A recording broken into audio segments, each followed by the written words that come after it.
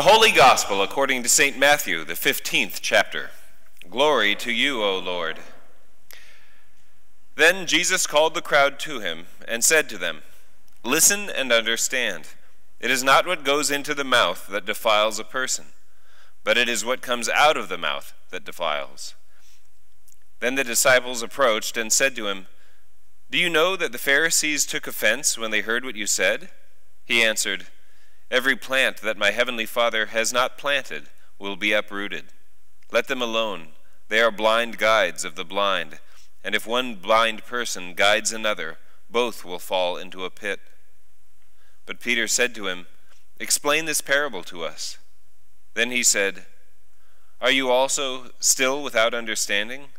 Do you not see that whatever goes into the mouth enters the stomach and goes out into the sewer? But what comes out of the mouth proceeds from the heart, and this is what defiles. For out of the heart come evil intentions, murder, adultery, fornication, theft, false witness, slander. These are what defile a person. But to eat with unwashed hands does not defile. Jesus left that place and went away to the district of Tyre and Sidon. Just then a Canaanite woman from that region came out and started shouting, have mercy on me, Lord, son of David. My daughter is tormented by a demon. But he did not answer her at all. And his disciples came and urged him, saying, Send her away, for she keeps shouting after us. He answered, I was sent only to the lost sheep of the house of Israel. But she came and knelt before him, saying, Lord, help me. He answered, It is not fair to take the children's food and throw it to the dogs. She said, Yes, Lord, yet even the dogs eat the crumbs that fall from their master's table. When Jesus answered her, then Jesus answered her, Woman, great is your faith. Let it be done for you as you wish. And her daughter was healed instantly. This is the gospel of the Lord. Praise to you, O Christ. Please be seated. And now may the words of my mouth and the meditations of my heart be acceptable in thy sight, my Lord, my rock, and my Redeemer. Amen. Well, friends, there are some things that can be said, just a few simple words that have the power to change everything. I heard a few of those, those things being said in this past week, even just yesterday. Yesterday we celebrated a uh, wedding here of Noel Burke, for those of you who know Noel, and now Noel Bothorf and her husband Logan, with a, a few simple words I do. Everything changed. Everything changed for them, and God made them into one flesh. Their lives now are inseparable and joined together in Christ Jesus. I also heard people say goodbye to their father and to their husband. Words that change everything. Nothing will be the same after those words are spoken. So few words and so much power. So much of life completely different for the sake of a few syllables spoken together. There aren't many statements like that that have the power to change. But there are, there are some. And we hear some of them spoken today. The Apostle Paul in the epistle reading, he talks about the gifts and the calling of God. But he says a few words that, if we take them to heart, if we really truly believe them, they change everything about the nature of how we understand God and how we understand our lives in Christ Jesus. They're important words, and after they have been spoken and the truth that they contain come to us, we have to be different. Something has changed. They are that powerful. And the words are this God has consigned or constrained all people to disobedience. Now, I'll tell you what, those words don't seem to jibe very well with most of our understandings about the nature of who God is and certainly who God is for us. Now, you know that I wasn't raised a, a, a Christian, but I, I certainly lived in this world, and I know a phrase that you know as well. The devil made me do it. Right? The bad things don't come from God, the good things come from God. God brings all the good stuff, right? And that's that's terrific. Jesus brings that all to us. We love Jesus because isn't he just God pouring out blessings blessings upon us over and over? And maybe the devil brings all of these bad things.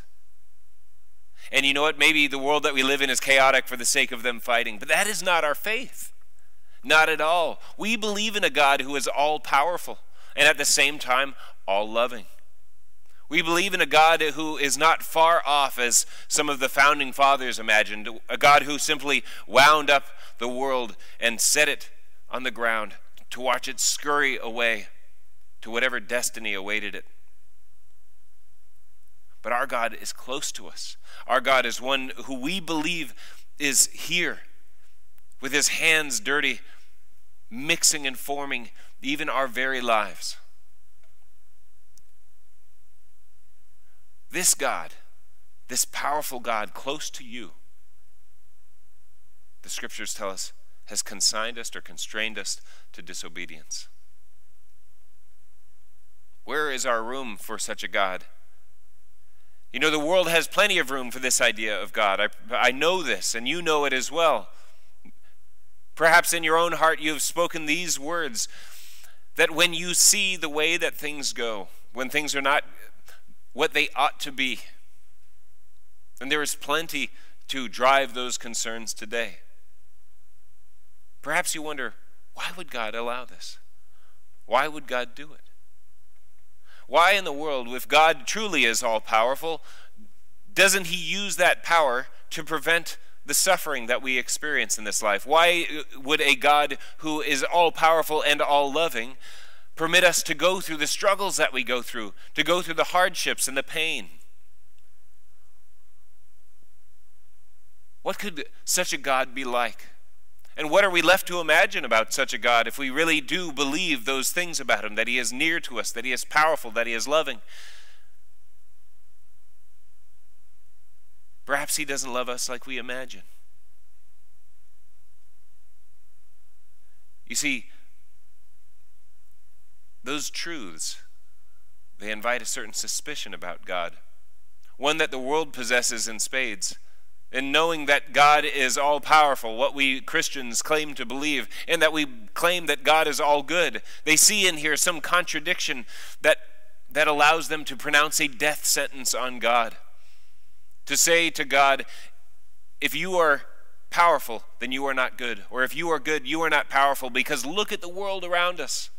Look at the ways that the world has fallen short of the expectations that even God Himself claims at the very beginning of this book to have created that world for.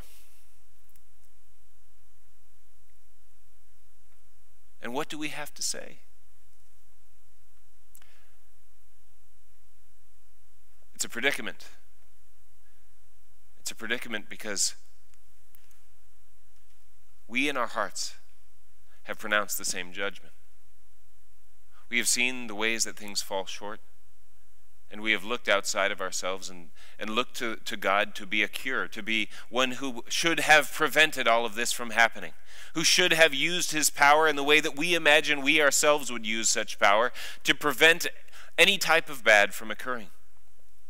But God is to us a father, one who allows us to experience the consequences of action and this is very important because consequences, be they positive or negative, they are those things which gives meaning to action and that allows life to have meaning.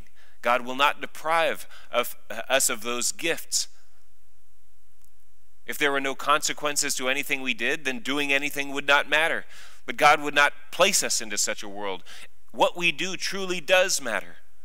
And if that is so, then the truth of the matter is this that the ways that we fall short, they create the world that we abide in. and the suffering and the pain and the difficulty that we are so eager to offload from ourselves, to unburden from ourselves, and to place on the shoulders of God, though they don't belong there. They truly are ours. It is our sin, our failures, our myriad ways that we fall short, whether it is as a husband or a wife, a son or a daughter, a father or a mother, a neighbor, one to another. The ways that we destroy one another, the ways that we hurt one another, the ways that we bring pain into being in this world, into a world that is already filled with it. That we contribute to this. And so the pain and the, the suffering in this world, it's multiplied. And it goes over and beyond the tragic nature of life. Because we have made it so. And all people stand guilty of this. You and I, as Christians, absolutely. Everyone outside unwilling to, to accept the burden of their own, the consequences of their own actions. Those who desire to place it on the shoulders of another, they too, they too have built it. It seems that it must be true then that God has indeed consigned all people to disobedience. He's permitted us to go forth and to go on. And, and if He is a Father who allows consequences, perhaps He is a Father like, like we are to our children, or a father or a mother, knowing that when our child, if they put their hand on the hot stove, we might in our hearts desire to prevent them from suffering the pain that comes with those things. But if we were to get our way, we would know this as well. We would not be serving them at all. If we were to eliminate the consequences of those actions, we would only sentence them to a life of repetition, to experience the same suffering, the same mistakes, the same pain over and over and over without end. God will not will this. Because those words, of course, do not end the sentence. God has consigned all people to disobedience, but so that he might have mercy on them all. It is God's will that he is known to you, not as the one who magically aligns things to be as though they were a fairy tale, but to come down into this world, the one that, that he has blessed us with, but the one that we ourselves have contributed to its degradation, to our relationships that are broken, to the pain and the suffering, to the mourning and the loss that's inside each and every one of us as we consider the ways that this life has fallen short of our hopes and our expectations. And He comes down to save. This is the God that we have. Not a God who, who protects us from life itself, but one who saves us out of this mire into true life. One who sees the suffering and the pain and who is not far off sitting in judgment, but one who has come down so that he might participate in the same suffering and the same pain, the same mourning and the same loss, the same degradation of body and life that you and I we feel constrained and trapped in. That is Jesus Christ. That God has come down among us to live with us, to suffer with us, to feel what you feel, to know what you know. And for all of the world that desires to offload all of their judgment and all of the consequence of their actions that they cannot embrace as being their own. They look for some other place to blame, and they found Christ. But so did we. And they who would be rid of God have found in us a brotherhood for we ourselves in our sin have condemned Christ. But he has taken it upon his shoulders. He did not run from the blame, but he says, Yes, I am all powerful. Yes, I am all loving. Watch me. And taking all of the sin of the world for both you yourselves, taking all of your suffering and all of your pain, all of the ways that we fall short, all of the ways that this life has not been what it was meant to be from the very beginning, God has borne those upon Himself in His Son Jesus Christ. For all of those out there who do not yet know God as Savior through Jesus Christ, He bears even their sins upon Himself, that though they don't know it yet, they stand justified before God for the sake of Jesus Christ, who is has borne upon Himself all of the sin of the world, all of the ways that it, has gone wrong. And it is. It is on the cross that those things are put to death. And they died there with Christ. But the only thing to be raised was life. You see, these words change everything. God has constrained us to disobedience, so that he might have mercy on us. And God has had mercy on you in Jesus Christ. Your sins now are forgiven. Your life is reconciled to God through Jesus Christ. Those things which you cannot bear, Jesus has borne, and the life that Jesus now lives is your life in Christ Jesus.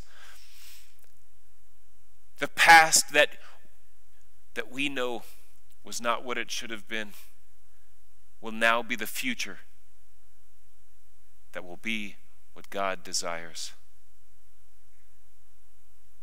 And God will be known as Savior. Let us pray. Lord, Heavenly Father, we thank and praise you that you, Lord, are a Savior. Not one far off, but one, one near, who has come down to suffer with us, for we suffer but who has come down to save that we might live. Lord, bless you for this gift.